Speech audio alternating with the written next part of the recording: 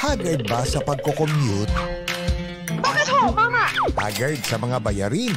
Pambihira naman kayo para hindi kayo babayaran na. Haggard sa love life? May girlfriend na ako at ayoko na matrona. Haggard sa trabaho? Problema mo na yan. Bawal sumuko? Tol!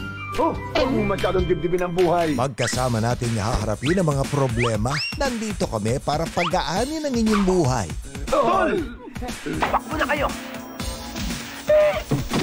Ito ang inyong much-needed distraction mula sa stress ng life. Free sine for everyone who wants to relax and have fun. For sure, malilimutan yung lahat ng inyong problema. Siya ang dahilan ko para mabuhay.